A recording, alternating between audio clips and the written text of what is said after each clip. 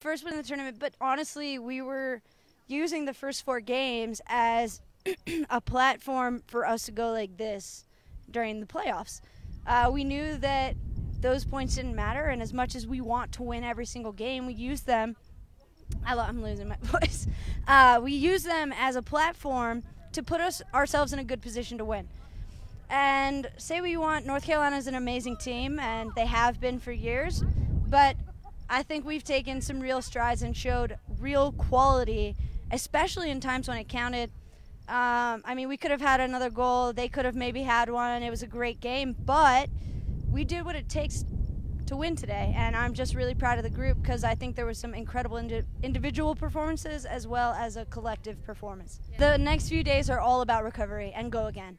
Uh, all we got to do now is make sure that we're hydrating, you know, getting all the little knocks and injuries and all those things taken care of, and then we're on to the next because we're just gonna we got to keep building, we got to keep climbing, and that is the culture of this group. That's the mentality of this group, and uh, you know, this performance isn't it for us. This is big. We're happy, but we know we have so much more left in the tank, so we got to get after it.